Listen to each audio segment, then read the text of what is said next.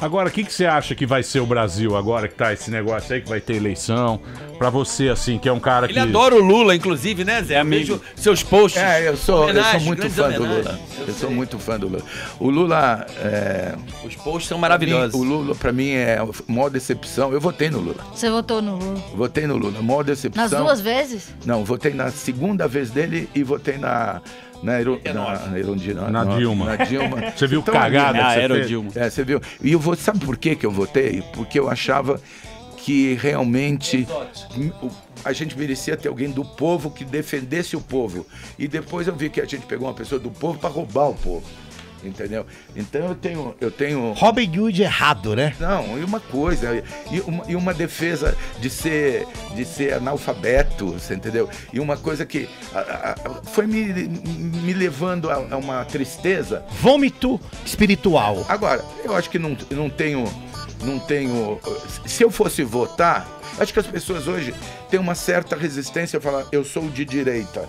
Parece que quando você fala sou de direita, você traz um monte de coisa ruim. Né? Eu não sou nem de direita nem de esquerda, mas hoje eu estaria mais para direita. Mais para o centro-direita ou o que for. Embora é difícil falar isso, né? O que, que eu quero? Eu quero que qualquer pessoa que traga para esse país é, sei lá, li- livre iniciativa, né?